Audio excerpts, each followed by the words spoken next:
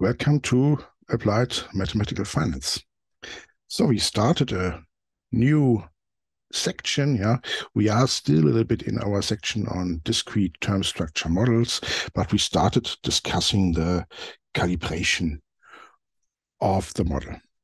So a small recap. We already discussed here the choice of the initial condition and the choice of the volatilities, well, to some extent. So our three parameters are the initial condition, the volatilities, and the correlations. So we consider the form of the model where we split the factor loadings into a volatility parameter and a correlation parameter, which is a little bit better to interpret. There was the alternative form that combined the two into a factor loading, yeah, the Cholesky decomposition of the covariance matrix. And initial value was maybe clear. Uh, and for the volatility process, yeah, there was a very intuitive choice for some special versions of the model. For example, if you consider the log normal version of the model, then you see this is just a Black-Scholes model, and yeah, you get some uh, condition on the sigma parameter if you like to, for example, recover uh, prices by just setting our volatility function to the Black implied volatility. So what what we did so far was that we found yeah, very nice choices for the parameters um, to match given prices. So just set the parameter to the right value and you will recover the um, observed uh, market price. More uh, generally speaking, yeah, we already mentioned that calibration is how do we have to choose a model parameter to match observed market values. And in a more general case, this is just inverting this map, for example, by using a numerical optimizer that modifies the model parameters to, say, reduce some error between the product valuation and the observed market value. You? So some optimizer. So it may be that there is no clear uh, analytic formula that we have to set the parameter to a specific value so that we have to um, optimize uh, the parameters. And for this, it is very important to understand which financial product depends on which parameter.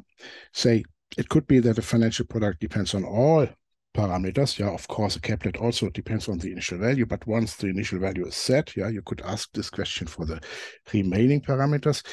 And it also could be that uh, there is a certain parameter that influences the financial product very strongly. So then this is maybe the parameter you should choose to calibrate to that observed product. And my next section, so my section for today is uh, calibrating to swaptions. And this is now where calibration becomes much more interesting yeah, because there is no trivial uh, analytic formula that tells me choose the correlation in this way and you will match that swaption. Yeah? So the dependency structure is more complex and I do not have an analytic formula yet. Yeah, we could later try to derive one. So let's discuss the calibration to swaption in our discrete term structure model. So a model that models forward rate. First, let's have a small recap. So I would like to calibrate to a swaption. So a swaption is an option on a swap. And we could reinterpret this product as an option on the swap rate paid in units of the swap annuity.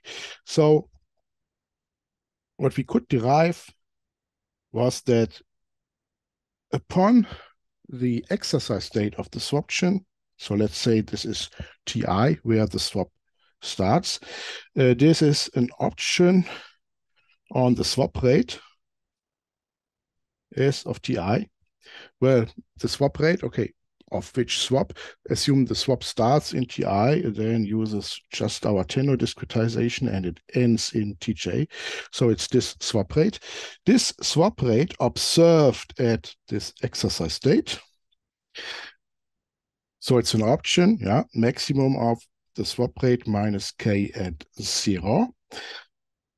And then this is paid in units of the swap annuity.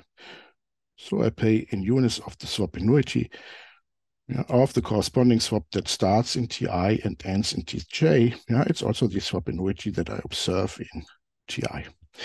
So what I can do then is I can move to the annuity measure. I can choose the annuity as a numeraire. So we move to the annuity measure, which means I divide by the numeraire. So this part goes away.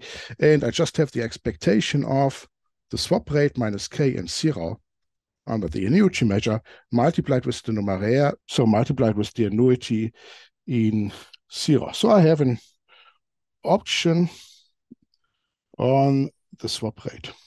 So you see, to value this financial product, all I need is to understand how this random variable here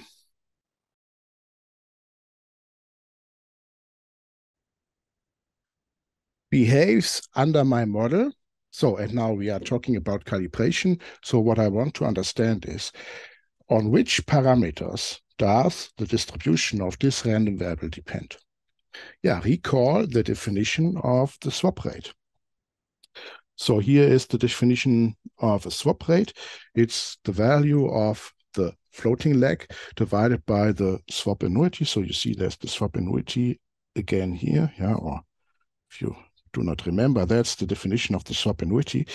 And the value of the floating leg is just valuing paying the forward rate. So we have here the forward rate LK.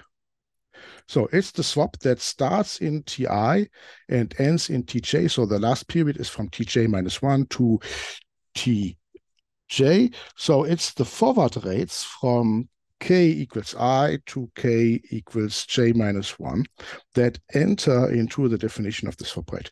There's also the zero coupon bond here and here, but the zero coupon bond also just depends on the forward rates. And if it is the zero coupon bond observed in TI, uh, it just depends on the forward rates starting in TI. So I have the same property here that the product starts in L equals I.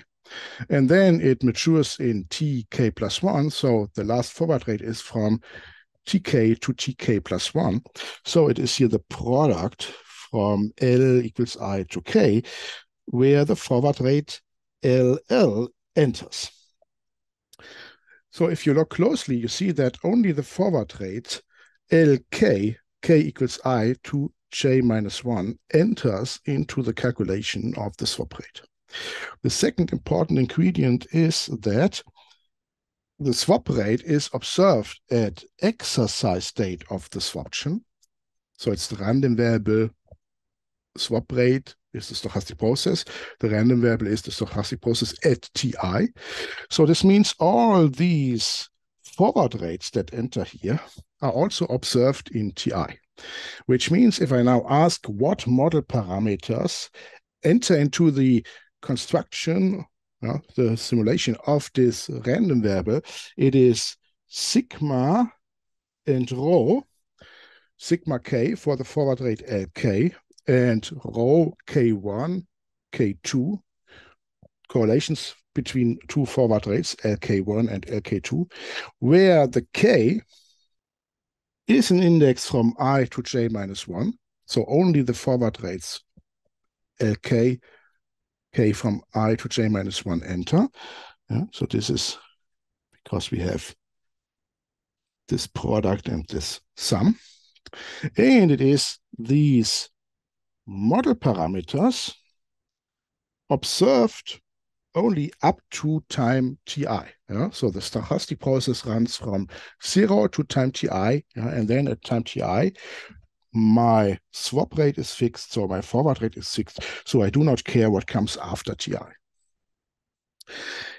Okay, so this is now good to understand. You see that if you ask yourself which parameter should you modify or choose, yeah, to calibrate the swaptions, it is only uh, these parameters here that are a candidate for this. So there is a yeah nice dependency structure. Also, another thing you see um, for the uh, caplet, it was just the variance of the forward rate, yeah, Li, that entered, yeah, because the caplet just was a nonlinear function, the maximum on the forward rate Lk. Now it is a nonlinear function on this object here. This object is a sum of forward rates, but a nonlinear function, if it would be a square, it would contain all parts LK1 times LK2. So it depends really on the covariances.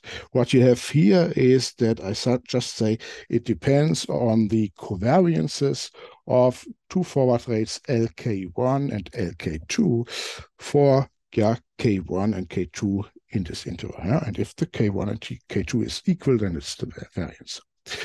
So I would expect that the swap rate, yeah, the swaption depends on the choice of these covariances for these specific indices.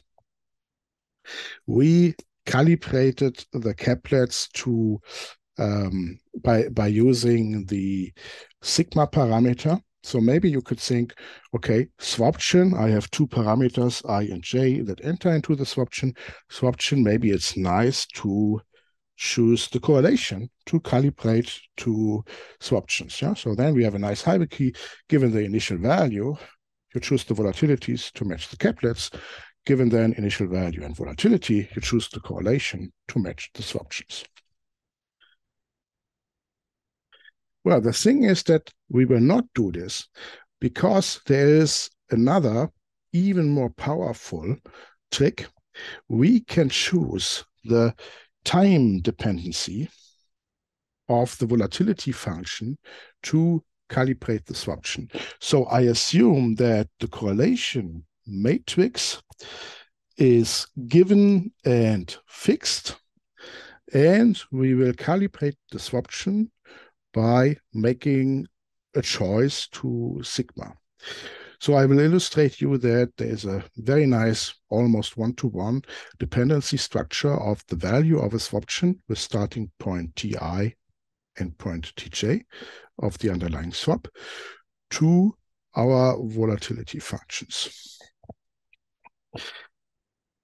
So from the definition of the swap and the swap rates, it's obvious that the value of a corresponding swaption.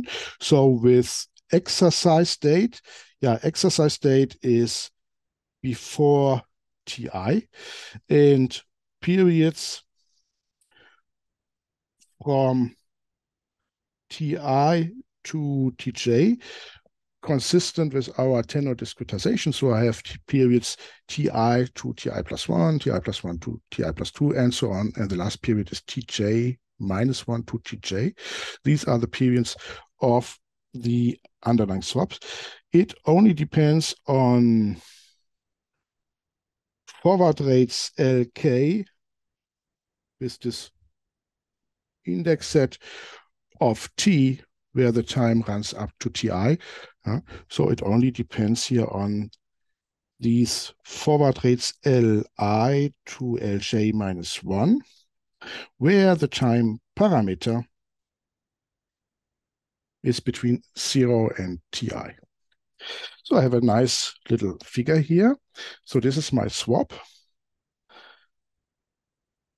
This is the start time of the swaption of the underlying swap. This is the end time of the underlying swap. This start time is also the exercise date of the swaption. So we exercise into the swaption here. So the forward rates are now the forward rates from i to j minus 1, so li to lj minus 1. That build up the yeah, valuation formula of the swap at exercise time. So it's these forward rates that enter. Okay, but all the forward rates are fixed at time ti. So the sigma that enters, so this is here, the wiggling is the volatility. The sigma that enters is the sigma in the interval from 0 to ti. Yeah, so this here is my sigma of t that enters into this forward rate, okay, and I marked i plus 1. So it's the sigma i plus 1, uh, sorry, 2. I marked i plus 2. So it's the sigma i plus 2 of t. I assume that the initial value and the whole correlation matrix is already fixed. Yeah? So I just want to understand now if these two parameters are already chosen, yeah, correlation has been chosen differently, yeah, or it's maybe given, we have chosen a one-factor model. Uh, how does the swaption depend on the sigma parameters, so, so the sigma functions? To understand this, yeah, I mean, sigma can be any function, a parameterized function. To understand this, let's do a simplification. Let's discretize the function sigma that it is piecewise constant on my tenor discretization. So I have here the tenor discretization, T0, T1, and so on. And I now like to discretize sigma as a function of little t to be piecewise constant on these intervals. So in other words, I now define a family of constant, a matrix. So this is sigma KL. Okay, so this is now my new model parameter. And sigma KL is the yeah, volatility that I get if I average the variance over the time, little t from uh, TL to TL plus 1. So you see there is the time parameter, the time index L here.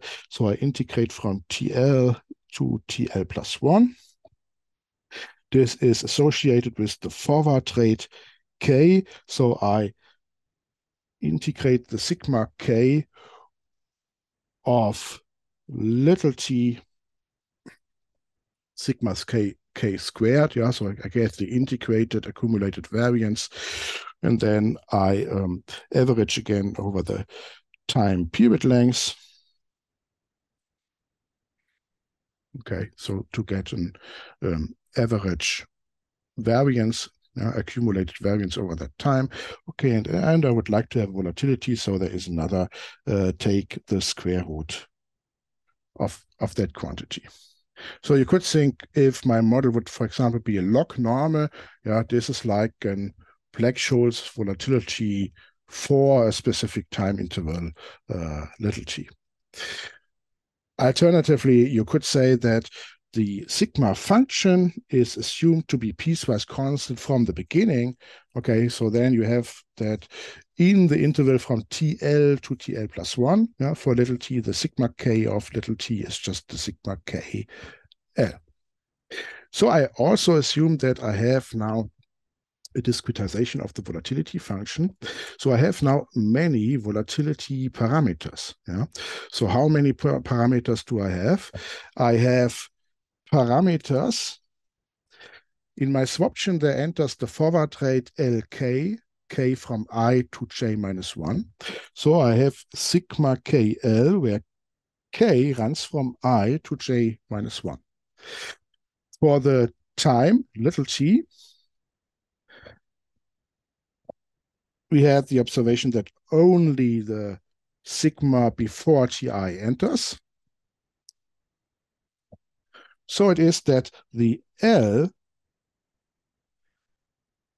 runs from 0 to i minus 1. Yeah, L equals 0 is the time interval from t0 to t1, and L equals i minus 1 is the last time interval from ti to ti minus 1, uh, to, to ti.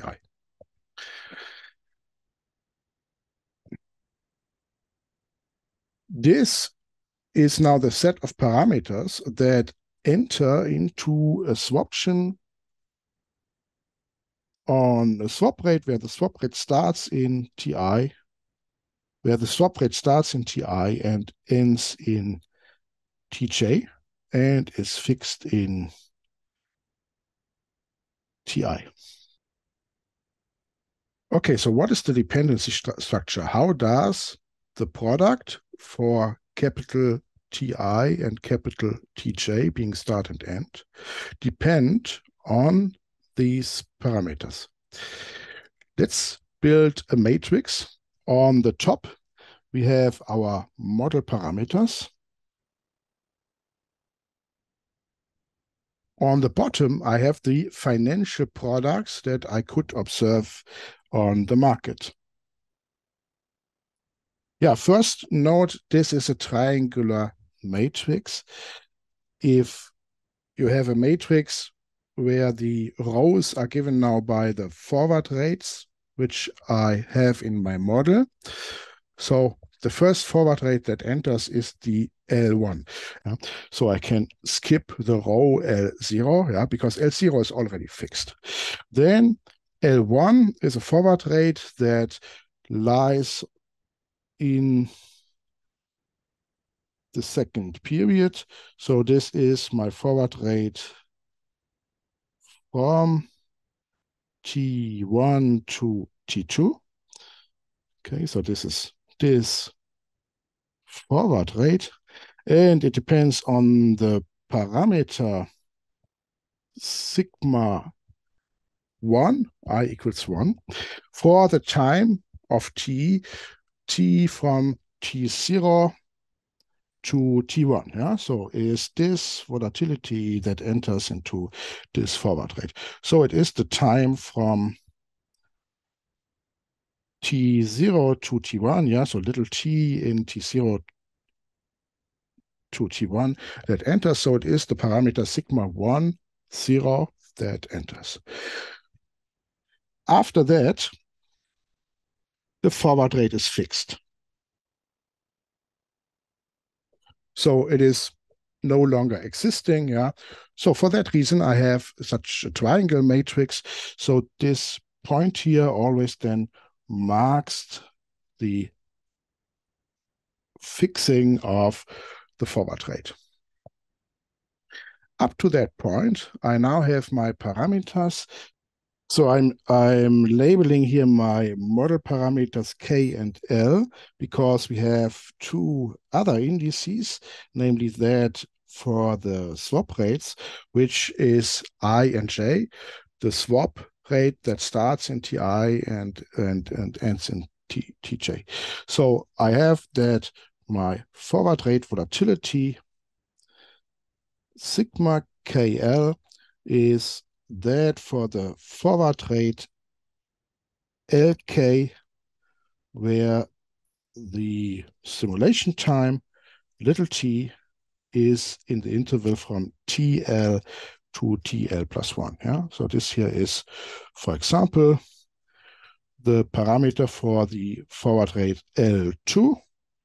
For the time, okay, the one here is from T1 to T2. On the product sides, we have swaptions, a swaption starting in TI, uh, ending in TJ. So a swaption, an option that exercises in TI. So this here is the exercise date. Uh, for an underlying swap that starts in Ti and ends in Tj. So the first swap will start in T1 and end in T2. There is no other product here because here we would have end date smaller or equal start date. So it would mean that the swap is either empty, yeah, the end date is equal to the start date, or uh, the start date is after the end date. Okay, so that that does not make sense. So it's also a triangle matrix.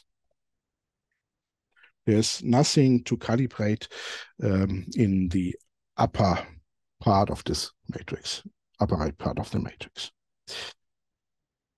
This swap here below exercises in T1.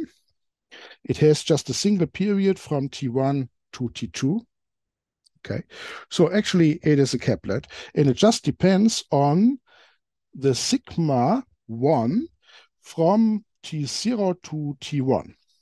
So I have that this swap here only depends on this parameter. So maybe I just mark this.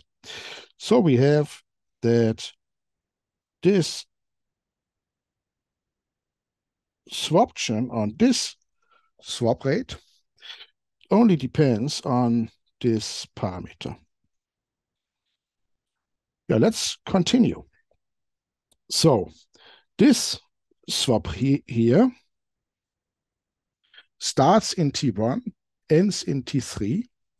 So it is going back to the picture, a swap that has two swap rates. It starts in T1, ends in T3.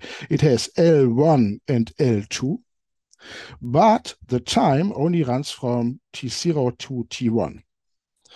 So it is the sigma 1 and the sigma 2 that enters, because L1 and L2, from T0 to T1. So it's also only this, this column here.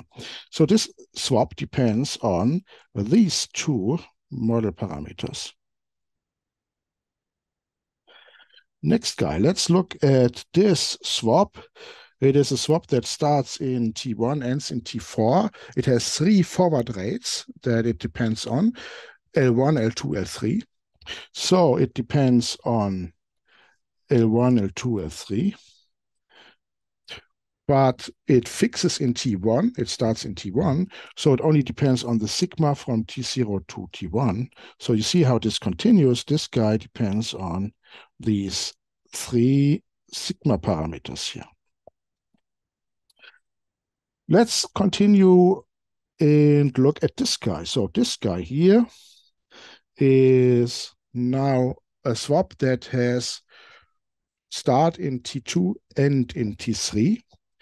So it has just a single period, start in T2, end in T3, but the time little t now runs from T0 to T2. So it depends on one forward rate, only on T2. It starts in T2, ends in T3, but the time runs from T0 to T2. So it depends. Yeah, it is a bit more complicated than you would have thought. It depends actually on this row here. Let's look at, for example, that guy here. That guy is a swap that starts in T2, ends in T4. So it starts in T2, ends in T4. So it has two periods here. So it's the forward rate L2, L3 that enters. So I'm here, L2, L3 that enter. And the time, it starts in T2. So the time runs from T0 to T2. So it's spanning from T0 to T2. So this guy on the bottom depends on these four elements here. But now you get the picture. It is always the block, the full block, starting in the corresponding row i, going up to the corresponding column j. Okay, so it is like a one-to-one -one relation, but you always take a little bit of the old values. And also now observe the nice thing, there's always one additional value entering. So there's always one additional free parameter. So I could calibrate this guy by choosing that one here. I could calibrate this guy by choosing that guy here. Okay, because this is a new parameter. The other one is already fixed. I could calibrate this guy by choosing that one here. The other two are fixed. This is a new parameter. I could calibrate this one by choosing that one and this one by choosing that one. So there's always one free parameter that could, you could choose to match the observed product prices. So I have a very nice mapping from model parameters to products. And once the model parameter has been fixed, I can choose another one to match conditional that the other one have been calibrated to match this product. This is then just a set of one-dimensional optimizers if you do it numerically. Yeah? So this is a very efficient method. And this method where you have multiple parameters, but where you can calibrate each parameter individually is uh, sometimes called um, bootstrapping. So here we have um, the algorithm. So you step through the starting times, Ti. Yeah? So you see we stepped through the starting times here on the outside. And for each starting time, you step through the end time, TJ.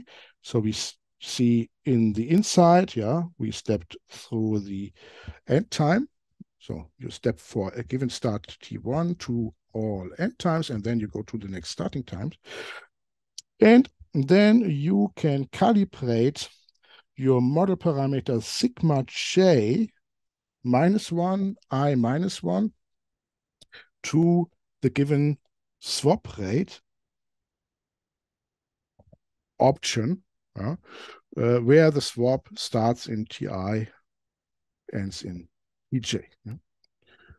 You can do this by considering that all the previous ones are already already fixed. Yeah, so sigma k L for k from i to j minus one. So the upper uh, row and um, rows and L from zero to i minus two is um, already fixed. You also see that this relation is um, one to one. Yeah, so you have here exactly the same amount of rows and columns. Yeah, there's just a little thing that here I start uh, counting uh, in, in, zero. Yeah, it's from time t0 to time t1. Okay, so there is um, a small uh, shift. Yeah, and here you start uh, counting counting in two. so, but apart from that, it's um, uh, one parameter for each product. Very, very nice um, algorithm.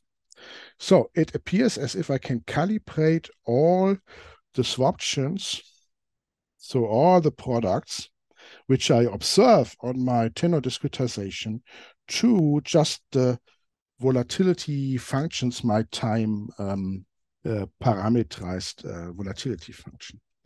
Well, what what what now about the caplets? We also needed the volatility function to fulfill the condition that we match the caplets. Well, the caplets are inside here. Yeah?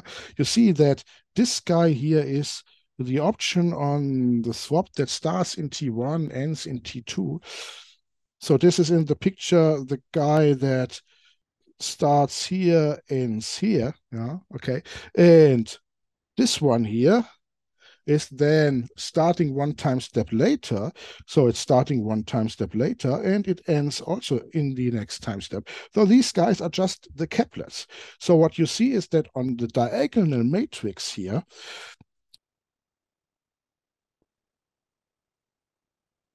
it is just the caplets.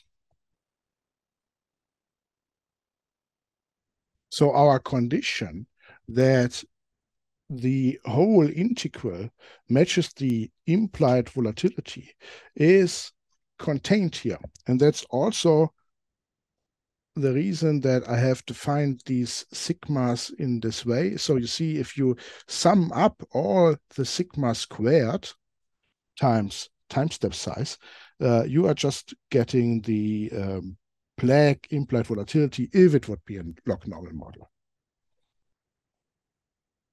Okay, so this is really um, a very nice table. I can now calibrate all caplets, all swaptions by the choice of my sigma i um, of t, yeah, discretize the sigma kl. So I could use um, a piecewise constant volatility model, and I can match all these um, options.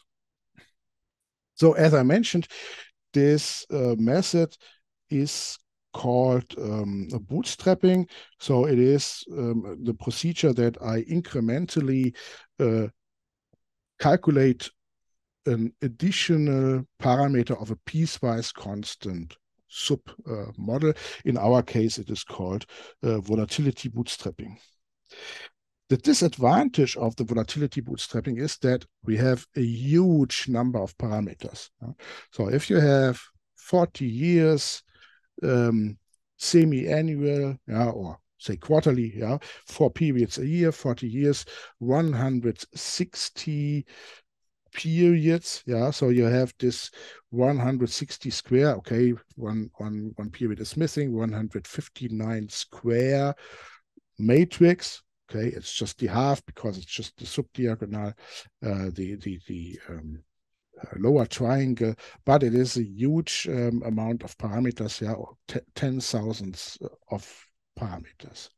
So there is overfitting, and of course, I do not observe all these um, swaptions. So um, what we could do to reduce the risk um, of um, overfitting, or even to just um, avoid the problem that my matrix is too fine for the number of uh, products that we um, observe, we could again reduce the number of parameters and instead of using my piecewise constant uh, volatility function, I could just um, use some functional form, some model, low parametric model for the volatility functions, and then use this, this trick here to, well, calculate or calibrate parts of the um, function more um, efficiently.